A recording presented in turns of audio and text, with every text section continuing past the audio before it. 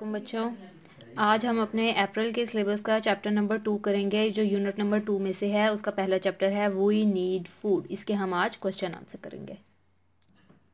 Okay unit question answer करने के लिए सबसे पहले हम पेज रेडी कर लेंगे, ठीक है? सबसे ऊपर आपने लिखना है यूनिट नंबर टू। उसके नेक्स्ट लाइन पे आपने लिखना है वी नीड फ़ूड चैप्टर का नेम लिखना है, ठीक है?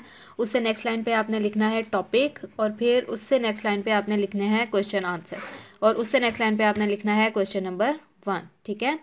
तो पहला क्वेश्चन है आपका state two benefits of food food के दो फ़ायदे बताएँ। बेनिफिट्स का मतलब क्या होता है? फ़ायदे, ठीक है? ये क्वेश्चन आपका अगर इस एक लाइन के ऊपर ना आए तो आप अगली लाइन पे जा सकते हो, ठीक है? नेक्स्ट लाइन पे आपने लिखना है आंसर और फिर उससे नेक्स्ट लाइन पे आपने आंसर लिखना स्टार्ट करना है। Food gives us energy food हमें एनर्जी देता है। Food helps us to grow food हमें बढ़ने में मदद देता है। ग्रो का मतलब क्या होता है? बढ़ना। F double O D food G I V E S gives food gives U S us food gives us E N E R G Y energy food gives us energy F O O D, food, H E L P S, helps. Food helps U S us, food helps us TO2 food helps us to G R O W, grow. Food helps us to उसके बाद आपने next line पे लिखना है question to और फिर उससे next line पे आपने क्वेश्चन लिखना स्टार्ट करना है।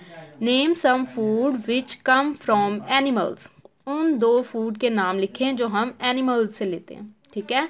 उससे नेक्स्ट लाइन पे लिखना है आपने आंसर और फिर उससे नेक्स्ट लाइन पे आपने आंसर लिखना स्टार्ट कर देना। E double G egg milk meat etcetera अंडे, दूध, गोश्त वगैरह।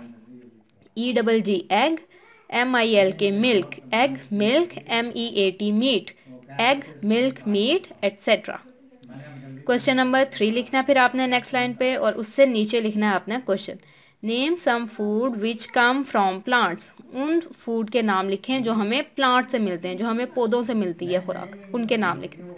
आंसर लिखना है नेक्स्ट लाइन के ऊपर और उससे नेक्स्ट लाइन पे आपने आंसर लिखना स्टार्ट कर देना है। R I C E rice P E A S peas B E N S beans etcetera rice peas beans etcetera